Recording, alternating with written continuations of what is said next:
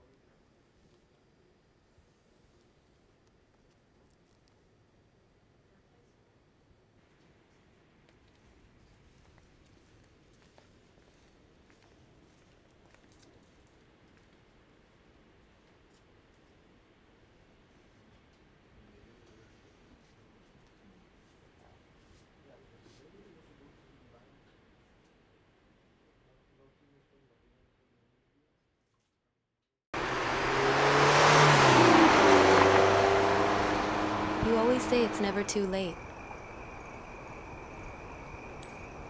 That's not what I mean. Do you believe in the afterlife?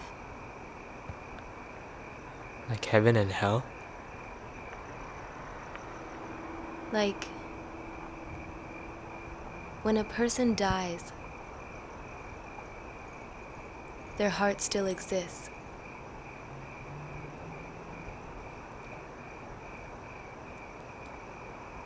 I wonder where his home is now. What?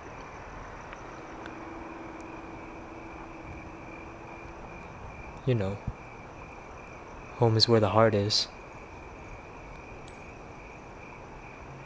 Yeah. I feel that now more than ever.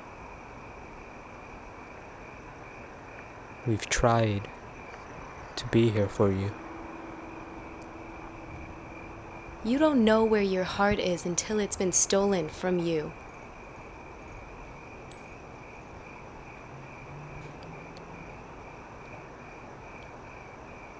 Sometimes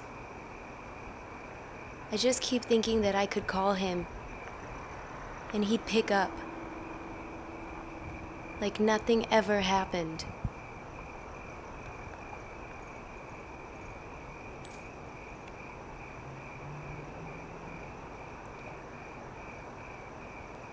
I'd better go.